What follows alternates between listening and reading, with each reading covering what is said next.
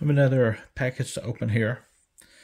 This one, I initially wasn't even sure who it was from, but now I see it's from Super Rare Games. I don't know what it is.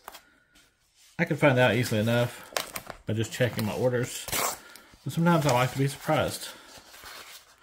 So let's see if we can tear into it. Not a big fan of these boxes. Yeah, they often don't tear correctly for me.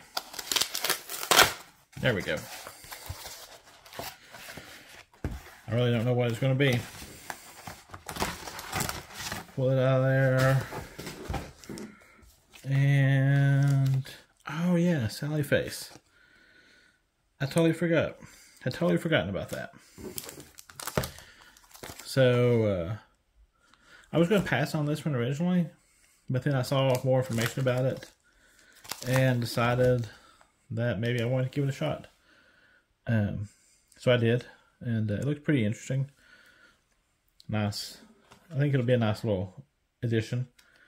And then uh, it came with this grapple dog um, card with a QR code. I'm not sure what's with that. But yeah, anyway, there we have it. That's my latest edition um, from Super Rare Games. Um, I don't know if I have anything else ordered from them, but chances are if I don't, I'll be ordering something else fairly soon. It seems like there's been a slew of interesting games uh, being released here lately.